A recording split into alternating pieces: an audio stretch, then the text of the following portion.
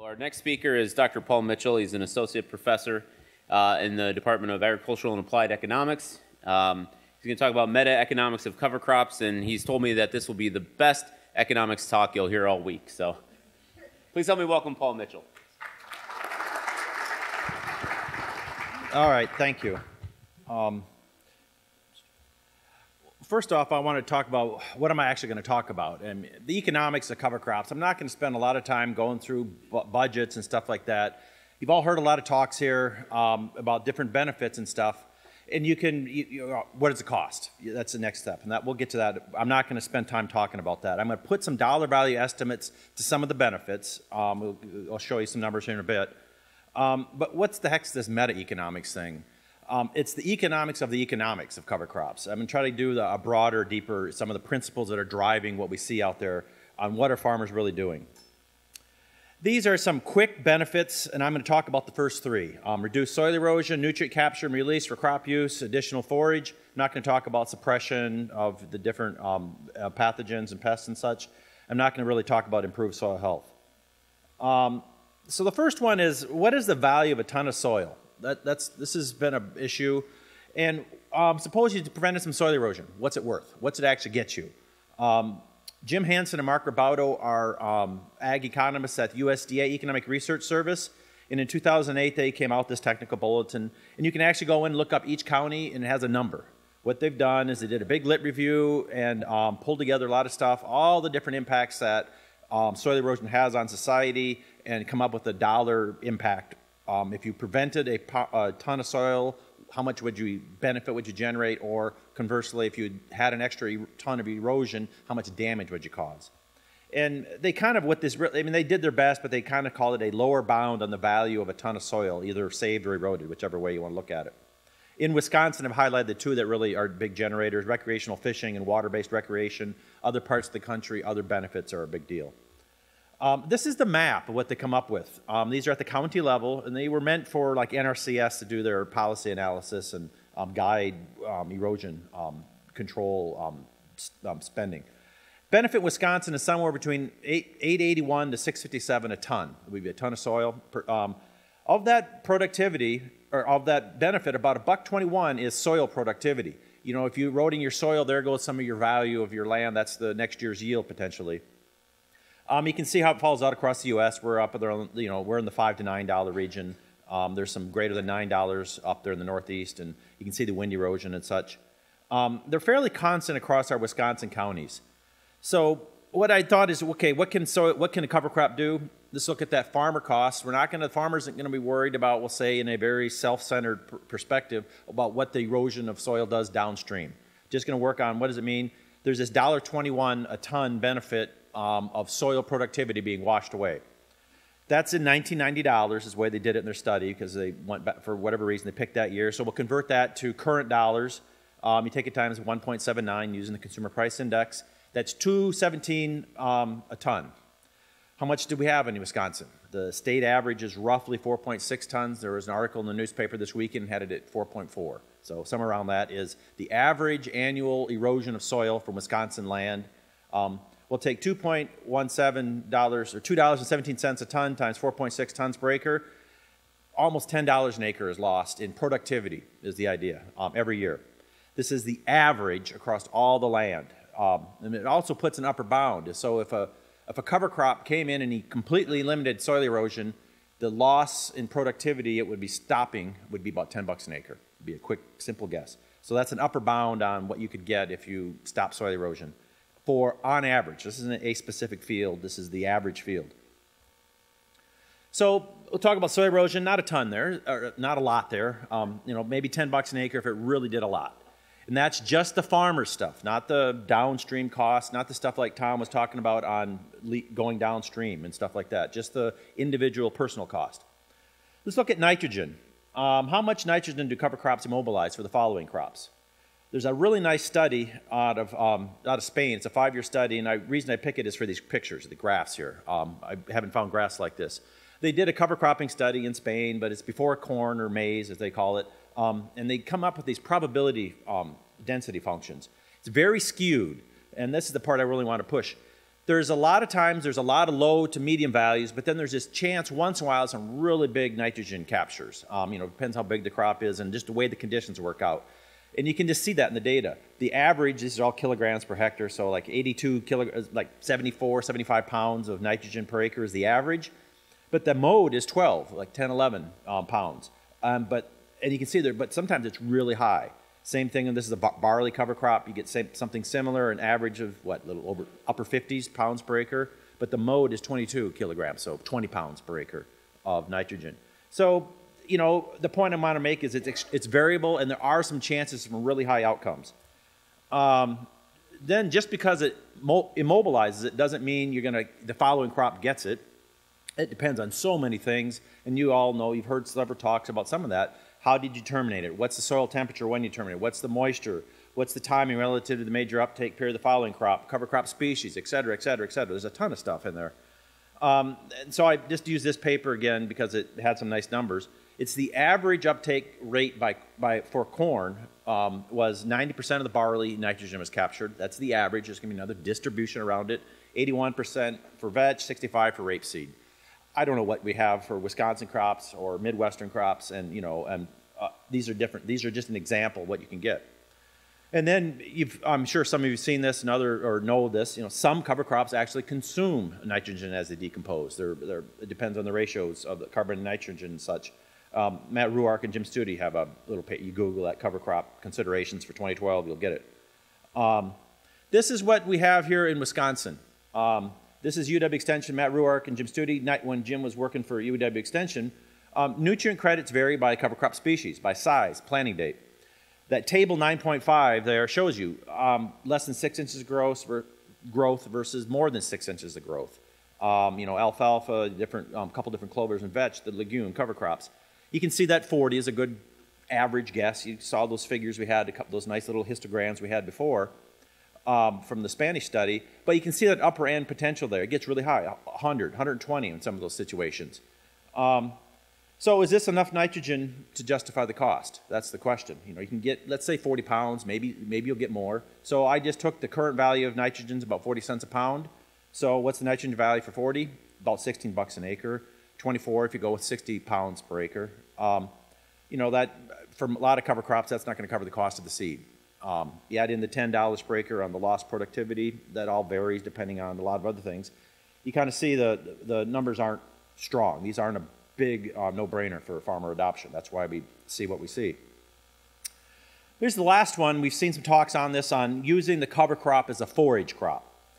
So this is some study. The poster is actually over here. Um, this is a study being done by Kevin Shelley in Nutrient Pest Management, Jamie West, um, I think you see in the back there, and then Matt Ruark again um, they've been looking at using early season rye forage before you plant corn silage, um, or early season rye as a forage crop before you plant silage. Um, it affects the following of the, the, the, quality and the quantity of the follow crop, the corn silage. And what, what they have is a base system is no-till continuous corn um, silage. And then one of the systems afterwards is to just do a rye cover crop. And the other one is to do a rye cover crop that you actually harvest as forage.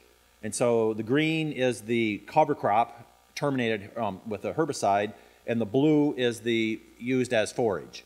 Um, this is the net gain in, this would be extra revenue generated for milk because the quality, it's all quality adjusted for the forage and the quantity of forage is using the current milk prices in those years. And really, you can talk to Kevin about it um, afterwards. It's the extra milk after you've taken out some of these costs, the, the, the, uh, the paying for the seed, the planting, the herbicide, the extra forage, you know, extra, additional harvest. There's nutrients removed by the forage. Um, what I want you to see is relative to the base system, sometimes you, you come out ahead, sometimes you come out behind. On average, it's a winning bet. 59 bucks an acre, an extra revenue from the milk, or 233. But the blue one lost money in 2014. The green one, two out of the four years, it lost money. Um, there's also this um, interactions that go on. Cover crop by crop, by environment, by management, interactions matter. Sometimes you're worse off with cover crops. I think we all know that. Um, cover crops use soil moisture, which is good in wet years and heavy soils, but it's bad in dry years and light soils. And a very good example is the 2012. We had a very dry year here, um, and then 2013 was a wet spring. This is just a graphic example. On the left is the um, Yeah, on the left is the cover crop. I want to make sure it's the same as what you guys see. On, on the right is the no cover crop. This is a Columbia County example. Um, this is a picture in 629 um, from Matt Ruark, I believe. Um, the rye cover crop was harvested on May 10th. He planted the corn. Well, the rye cover crop um, was harvested. You had a soil moisture deficit. So the cover crop, you can just see it on the left side, is much lower um, in, in, you know plant height. It's a little more yellow than the, the cover the non-cover cropping section on the right side.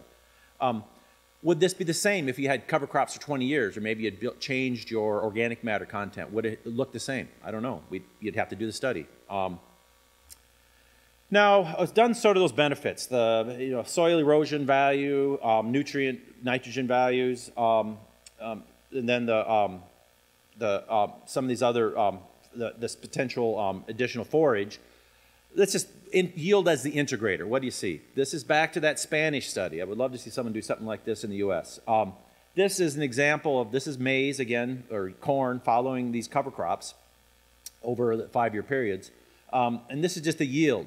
And that red vertical line um, in, in the middle, which I'm not seeing the cursor, um, is um, that's the zero.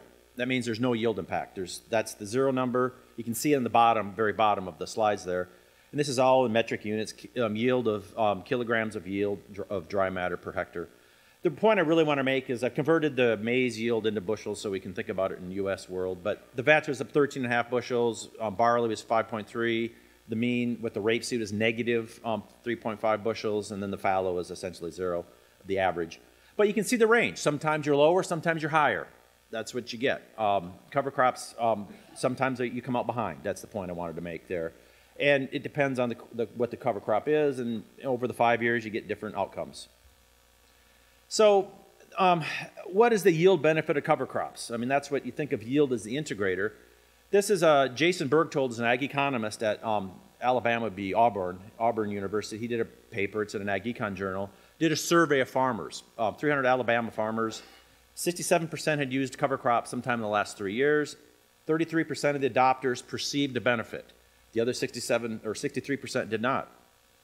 Of those perceiving a benefit, how much was it? Almost 13%.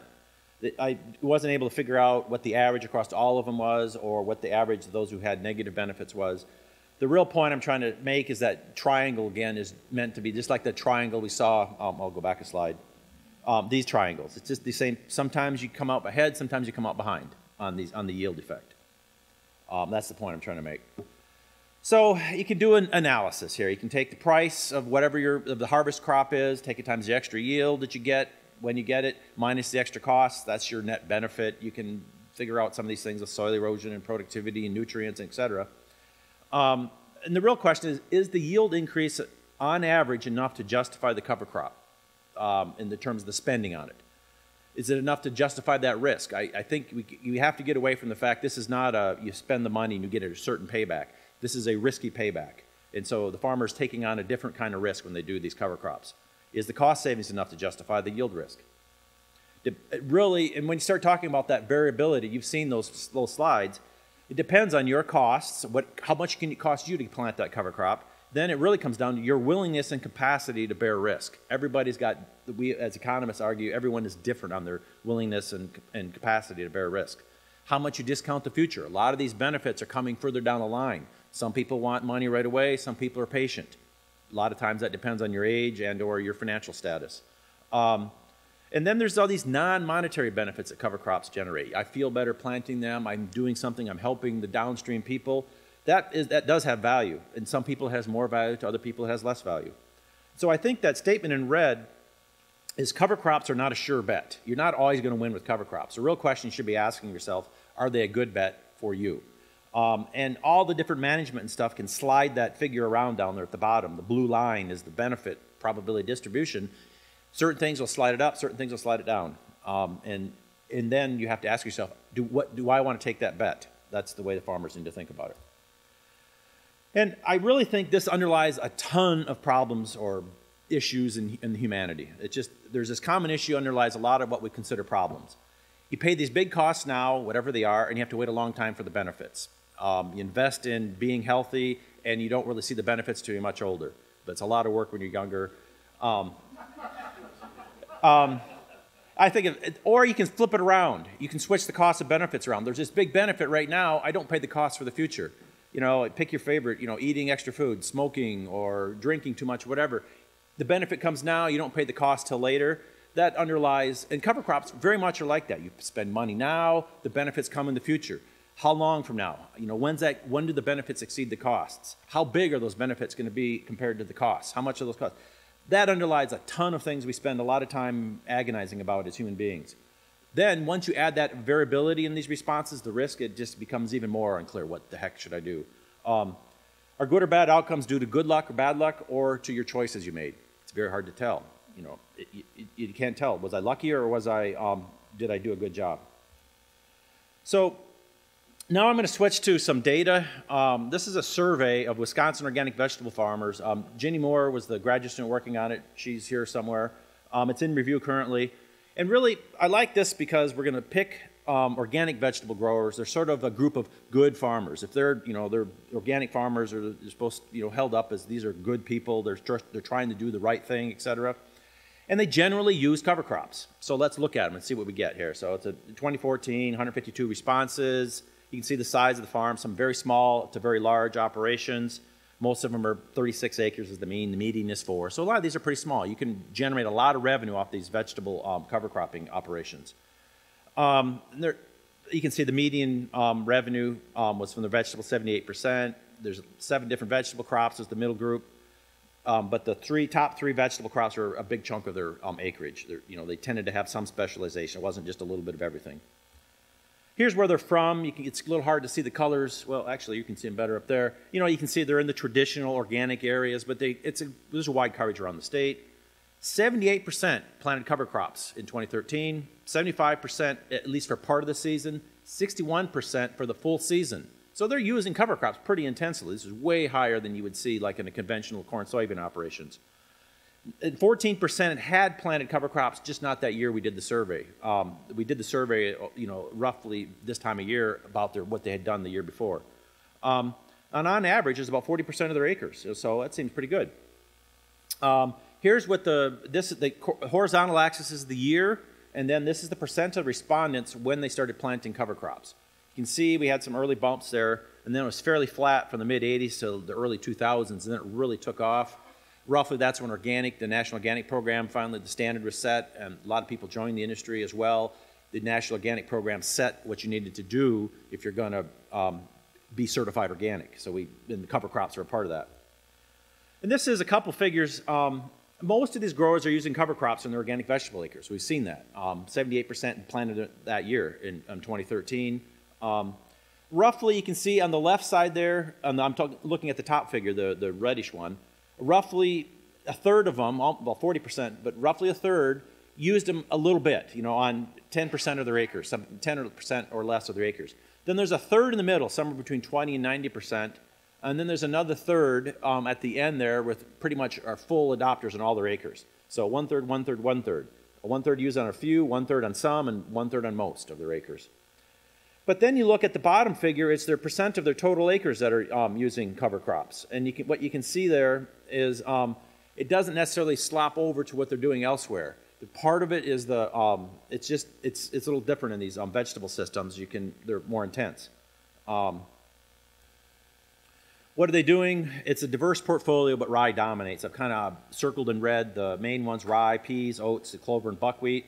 Um, you can probably throw alfalfa in there, and then you've caught the big ones that they're using. Um, use every year. The lighter color is used in some of the years. But you can see rye is the big one, um, and then oats, another cereal. And then a lot of crops, they're using a lot of them. You can see there's some, you know, there's a number of respondents as the vertical axis, horizontal is how many different cover cropping species did you plant? 1 to 12. Um, you can see there's a quite a bit of people are using, people are using a lot of different species. So this is a part now we ask them what challenges were the most important impediments um, or issues you saw with cover crops. Cost shows up a lot. You know, you got direct costs, you got managerial costs, or you got opportunity costs. These are the top six. Seed expense is number one cost. That was what, what makes it hard to do cover crops? The seed. Extra time to manage. It takes me more time. Vegetable operations, these guys are work, they work a lot. It's a lot, it's a very intensive operation. It might only be three, four acres, but it's a lot of time. There's a short planning window. It's another management issue. I got to get it in there, and I got to be sure that when the man, when the time is right, I got to get it planted. Management difficulty. There's an extra work again. Um, special equipment, a, a direct cost. I got to buy something to make it work, or rent it, or borrow it from a neighbor or something. And then there's the opportunity cost. I'm putting that cover crop in, rye or whatever it is. I'm not planting a vegetable I'm selling. That's what they see. Cost, cost, cost. So let's start pulling this all together and get back to this meta economics. So, what is the meta economics of cover crops? Cost matters for cover crop adoption a lot. Um, cost share is and will continue to be an important driver for adoption. On the, I'm thinking on the grain systems, the NRCS, that is going to be important. Cost is a big deal. Um, even among farmers who believe in cover crops, the organic industry, cost is still a big issue to them. And um, so I expect with the tight margins out there this year, um, and even last year, some, but even more so this year, we're going to see some serious disadoption of cover cropping because it's just they're going to become very cost conscious, and we're going to see a pulling back on cover crops on, on by grain farmers. Cover crops are risky. Um, they're not a sure bet, but they can be a good bet. That's what I'm hoping you, some of you see out of this. Sometimes the cover crop will make the farmer worse off in the, in the short run. Um, and are the good outcomes due to good luck or good practices? You really can't tell. Um, so I think we need some honest statements and assessments of the benefits and risks that, um, to, in order to manage farmer expectations and to maintain legitimacy and credibility of cover crops. You can't be think of be, you can't get the farmers thinking you're selling snake oil. That's the way to think of it. Be realistic about it. Yes, sometimes they are going to lose you money. Um, you have to be aware of that. That isn't it's it's not a sure bet. It can be a good bet if you um, if you're you know a good manager and are willing to try the, try it all.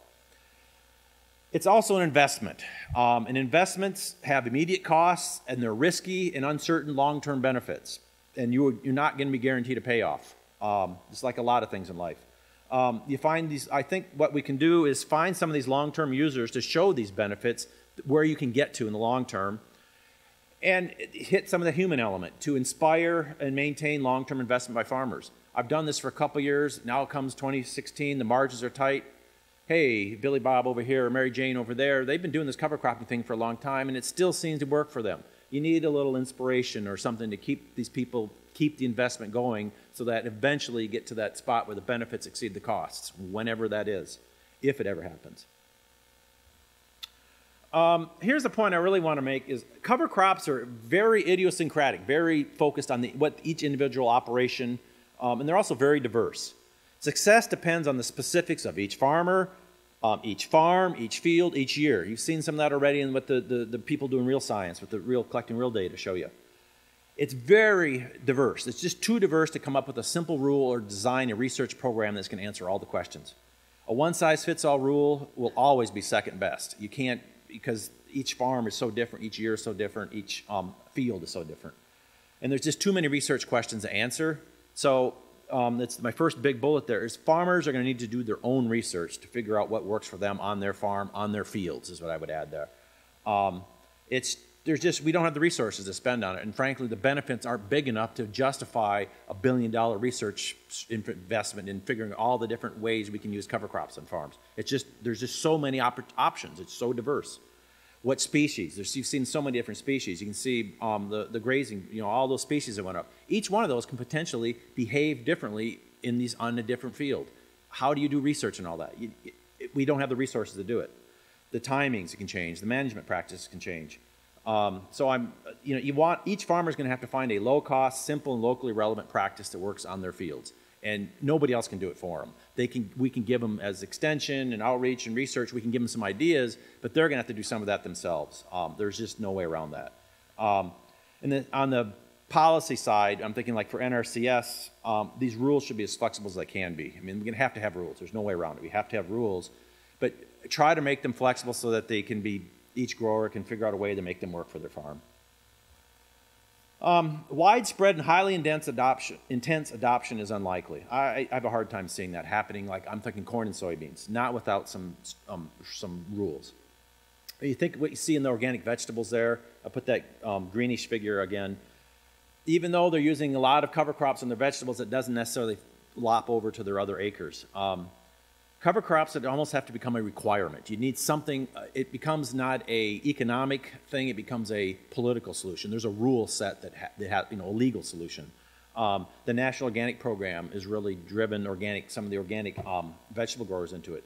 Conservation compliance, you make, make that required, maybe cover crops become required. In the European Union, the Common Agricultural Policy has a cover cropping requirement. Um, and so that is what, if you want widespread, highly intense adoption, it's not going to happen voluntarily, even with a lot of cost share. It's probably going to take a rule. Um, think of what um, Tom Kaspar's talking about, what's happening on the, um, in, in Iowa with the, the nitrogen. It, it might be a lawsuit. If it comes out where the farmers, have, they might have to do something like that. It's not a, it's a political solution. It's not an economic or voluntary solution. Um, institutions matter. We talked a little bit about the crop insurance rules. That, that's a big deal.